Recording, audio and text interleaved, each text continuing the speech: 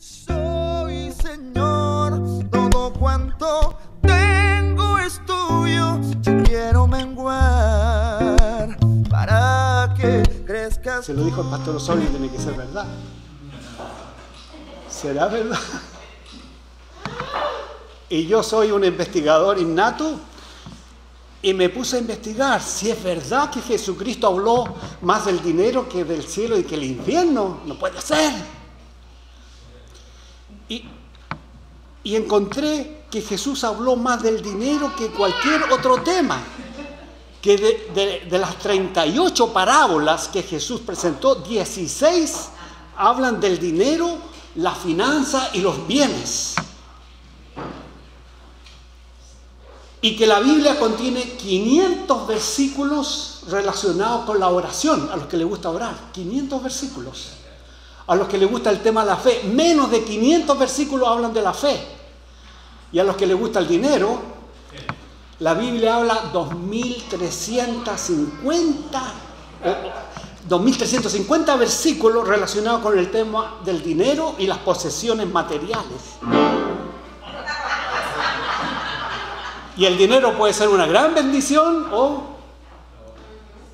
Y el tema en la familia siempre es el dinero. Yo trabajé en una fábrica grande, llegamos a ser como mil cuando estuvo en su apogeo. Y yo ahí me hice carrera. Y todas las semanas se jugaba la lotería.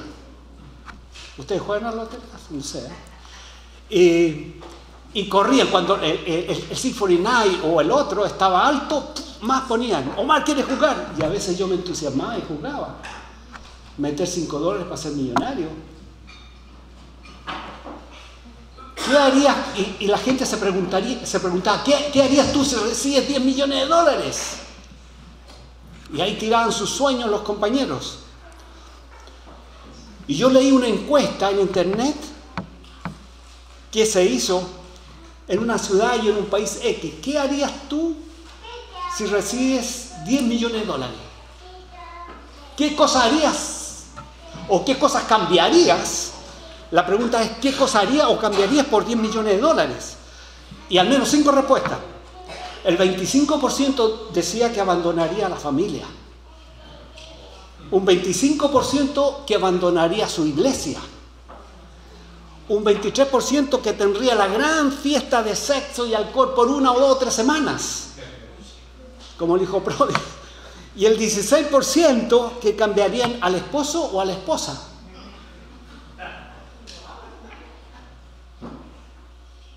Y el 13% que pondrían a sus hijos en adopción o lo internarían.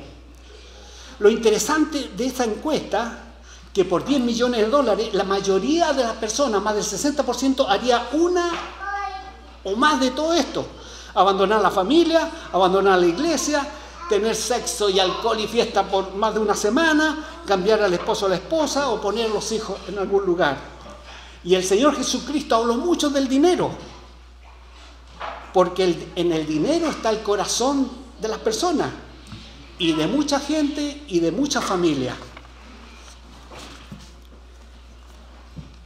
Yo llegué a la iglesia bautista castellana, me a los 33 años me compré mi primera Biblia, un excelente maestro de escuela dominical que tomaba los pasajes y los desgranaba y yo no entendía nada y fui aprendiendo con él.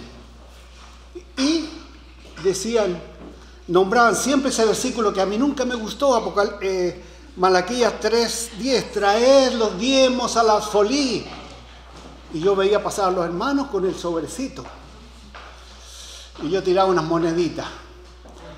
Otro, el próximo domingo, ese otro famoso versículo, Dios ama al dador alegre. Y yo tiraba unas moneditas.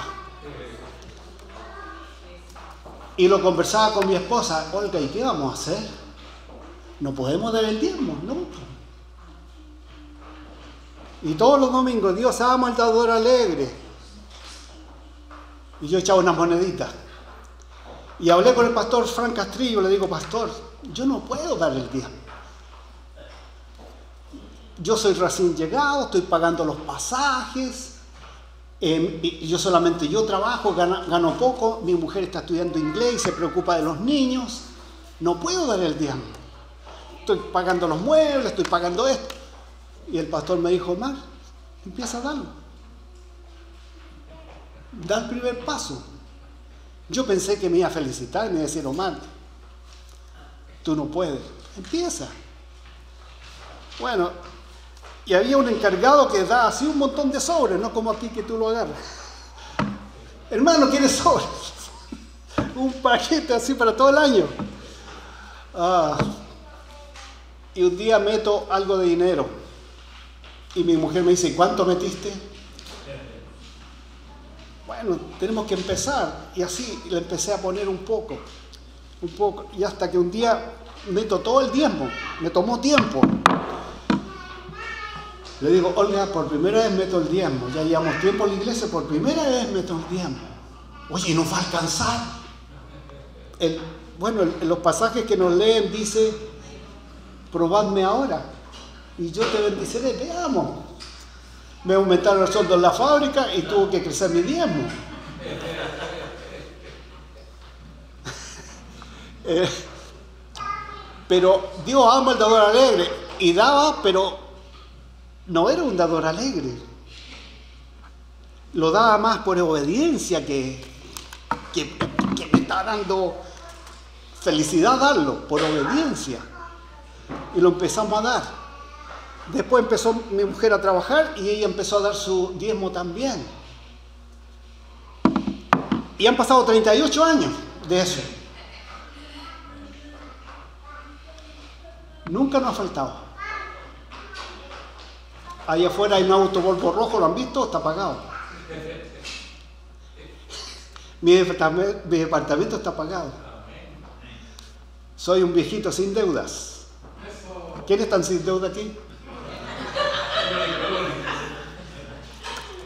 El único.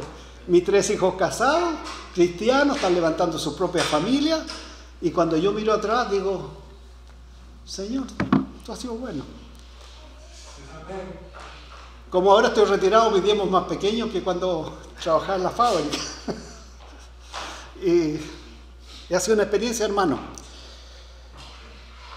Esa es mi experiencia con el diezmo. Y el poema que traigo es un clásico eh, eh, que trata de dar, y me lo pasaba mucho tiempo atrás, y cuando lo tuve que hacer por primera vez, yo discutía con el poema, no estaba muy de acuerdo porque me costaba dar el diezmo. Pero ya no, ya no. No puedo ganarle a Dios, dice el poeta Juan Romero. No puedo ganarle a Dios. Con el maestro Roberto Linares Brown.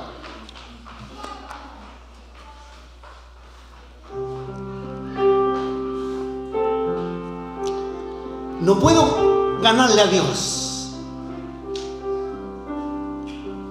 Una cosa yo he aprendido de mi vida al caminar.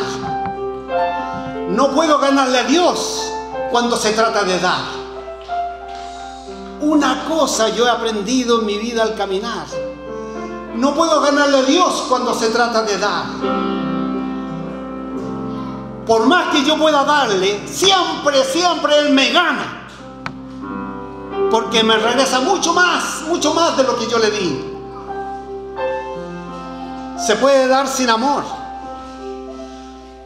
No se puede amar sin dar. Si yo doy, no es porque tengo, más bien tengo porque doy. Si yo doy, no es porque tengo, sino tengo porque doy.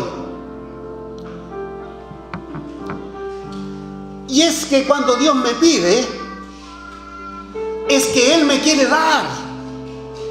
Y cuando Dios me da, es que me quiere pedir. Que cuando Dios me pide, Él me quiere dar. Y cuando Dios me da, es porque me quiere pedir. Si tú quieres, haz la prueba. Haz la prueba y comienza a darle hoy. Haz la prueba y comienza a darle hoy. Y verás que poco tiempo tú también podrás decir, una cosa yo he aprendido en mi vida al caminar. No puedo ganarle a Dios cuando se trata de dar.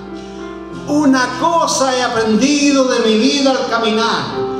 No le puedo ganar a Dios cuando se trata de dar.